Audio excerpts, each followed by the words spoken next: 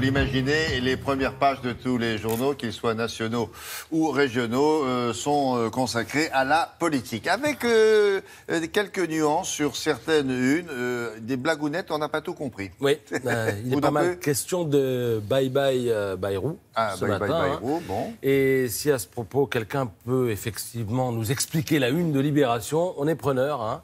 Alors le titre, pas de quartier. Les quartiers d'Orange, hein, peut-être. Ah, de car... Oui, quartier. Oui. Orange, c'est aussi la couleur du modem. Ça, ouais, bon. Oui. Alors, je sais pas, moi, ce matin, je suis allé jusqu'à me dire euh, qu'on dirait Yves Montand avec ses lunettes dans l'aveu. Vous savez, le film de Costa Gavras, où il porte des lunettes obturées, qui sont des lunettes de torture. Euh, Allez comprendre. Le film, ça y est, a aidé Montand à se libérer de son amitié avec le PC. On peut imaginer que cette une euh, témoigne du fait que Macron ait réussi à se libérer de Bayrou. Et le mot quartier, quand on parle des quartiers, non, ça n'a rien à voir. pourquoi pas? Je, je sais pas, je suis un petit peu perdu. Et les gars, il faut Ah. nous expliquer.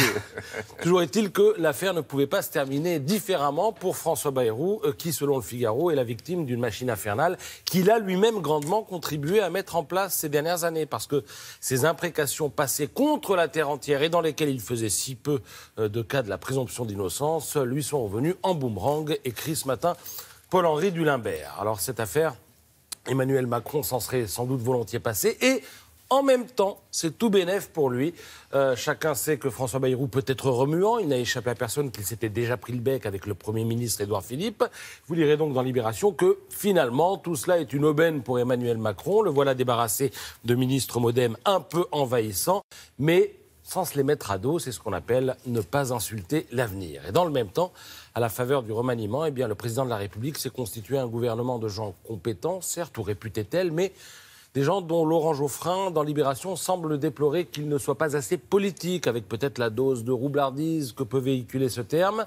À la première tempête, écrit l'éditorialiste, eh bien, les conflits de la démocratie renaîtront inévitablement. Alors la compétence ne suffira pas, il faudra bien faire aussi de la politique. Mais il est vrai que le politique, dans cet attelage surdiplômé, c'est Macron. D'ailleurs, de la politique, eh bien, Macron en fait dès ce matin.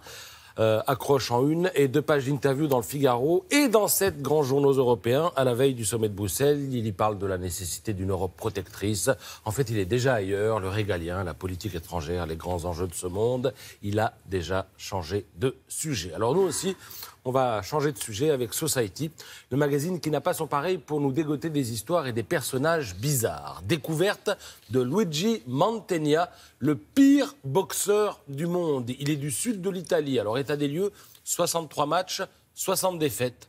Luigi est ce qu'on appelle dans le monde anglo-saxon un journeyman, c'est-à-dire un boxeur prêt à monter sur le ring, n'importe où, n'importe quand, et un peu n'importe comment aussi. Euh, il est mal préparé, mais toujours la tête haute. Alors, il touche quelques centaines d'euros par match, il en vit. Euh, on il pourrait- Oui, on pourrait croire qu'il fait exprès de se coucher dès la deuxième ou la troisième reprise, mais pas du tout. Ah. 60 défaites, mais il n'a jamais été mis KO. Il va au bout. Il Ah. le reconnaît, il fait ça parce que tout simplement, il adore la castagne, il adore se battre. il a quand même gagné trois matchs, dont un par KO, et il n'en revient toujours pas. Il dit qu'il s'est repassé la vidéo des milliers de fois à la maison. Et alors, Society a suivi le jour J, jour de match, donc il se lève à 5 h du matin, il va faire le marché d'abord. Mhm. Ça, c'est son travail de base. Ça lui rapporte 600 euros par mois. Ensuite, est- deux ah heures bon, de voiture. Il, il travaille sur les marchés Oui, il travaille sur les marchés oui, oui, dès tiens. 5 heures du mat. Mais ensuite, la journée se continue pour lui. C'est-à-dire euh, deux heures de route pour aller à Rome. Là, il fait la sieste sur un banc. Ensuite, il se badigeonne de pommade périmée. On est dans l'amateurisme le plus total, alors que lui en quelque sorte pro, puisqu'il touche mais, de l'argent. non, mais qui, qui match contre un, homme comme ça? Pour- Pourquoi le Et faire? d'autres boxeurs tout aussi ringards, tout Ah, aussi ouais, mauvais. ah, ouais. Mais, euh, et puis ça fait marcher les paris, surtout tous ces petits matchs qui ont lieu. Alors le soir, bien sûr, euh, du match, il a perdu, au point, comme d'habitude. Et commentaire du gars, il dit franchement, le gars, il n'était pas si fort que ça en face. voilà, c'est un peu le quart-monde de la boxe. C'est à la fois consternant et émouvant. Et c'est à lire dans Society, sous la plume de Margarita Nazzi. Et rien à voir avec Mélenchon qui est en, Qui est à la euh, une. Qui est à la une. Lui s'est fait boxer par la médaille Field des mathématiques cette semaine. Mais ça, c'était un autre euh, débat. Ah bon Vous savez, il avait dit le matheux, je vais lui apprendre le contrat de travail. Et le matheux lui a dit, vous savez que je suis patron d'une boîte et le contrat de travail, je sais ce connais, que c'est. moi, je- j'ai déjà vois de travaillé. temps en temps. Et j'ai travaillé ailleurs dit- que, oui. que dans les hémicycles et dans les partis politiques. Qui dit mieux? Je suis champion du monde surtout. Allez, on passe à la